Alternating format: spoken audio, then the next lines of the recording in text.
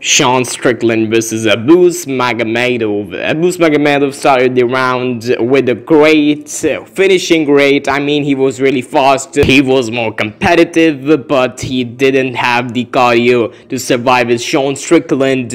And uh, Sean Strickland finally finds a way in the second round and he knocks uh, Abus Magomedov.